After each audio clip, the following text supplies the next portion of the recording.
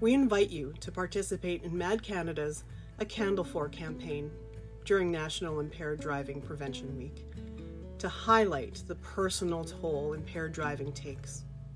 Take photos or videos of yourself, family, friends, and coworkers lighting a candle for loved ones who have been killed or injured by impaired drivers.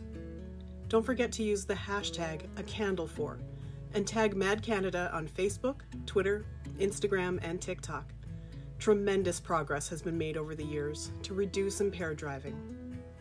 Despite advances in laws and penalties, enforcement, and awareness, hundreds of people are killed and thousands are injured in alcohol, cannabis, and other drug impaired driving crashes each year.